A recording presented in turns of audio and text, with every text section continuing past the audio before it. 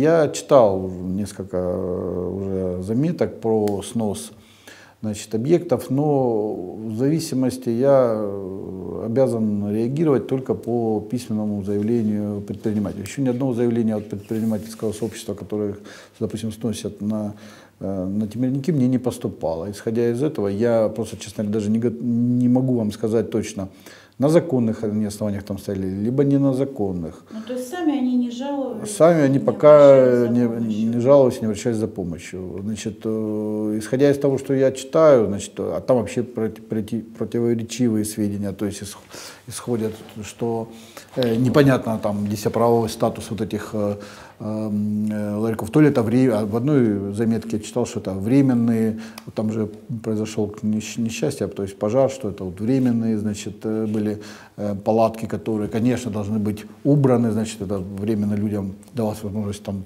которые потеряли свои рабочие места, торговать. А в других, там, я вообще читал, что это э, что-то муниципальная земля, которая именно прилегает к рынку. Поэтому, если, значит, обращение будет от э, тех людей, которые торгуют от Э, либо от владельца, от управляющей компании рынков, мы, конечно, будем уже более плотно э, заниматься. А сейчас мы просто, я читаю, вот, ну, исходя из того, что, конечно, если брать ну, там, мою позицию, такую гражданскую позицию, то я считаю, что на самом деле действительно признаю, что да, зачастую предприниматели не всегда правомерно занимают какие-либо торговые площади, однако надо тут понимать другое, что много лет это как бы продолжалось, и вот есть такой хороший значит, э, термин, я это видел в разъяснительном письме э, Министерства экономического развития Российской Федерации, где четко говорилось, что меняется место, не, не, не меняется бизнес. То есть если даже я считаю, что ну, никаким образом нельзя, вот знаете, как носить запреты, я совершенно категорически против, когда значит, просто говорят, вот ты с этого момента не торгуй, да, вы здесь не имеете права стоять.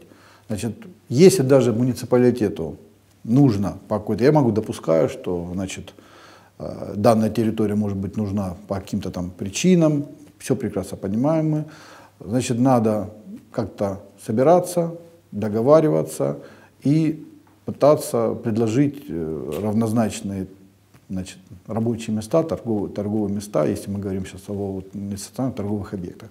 А говорить о том, что завтра или там, через месяц вы не торгуете здесь, и как вы будете зарабатывать себе на жизнь, зачастую это же люди, если мы говорим о рынке, это не бизнес, это самозанятые люди, это вот люди, которые, к сожалению, были вот, ну, ну, когда-то вынуждены были или ну, поосознанно пошли значит, на, вот, занимаются вот этим микро, микробизнесом, и они зарабатывают, э, они сами предприниматели, они сами торгуют, они сами зарабатывают там, доход, сравним, их доход сравним с заработной платой там, любого... Средней, наверное, с, да, да.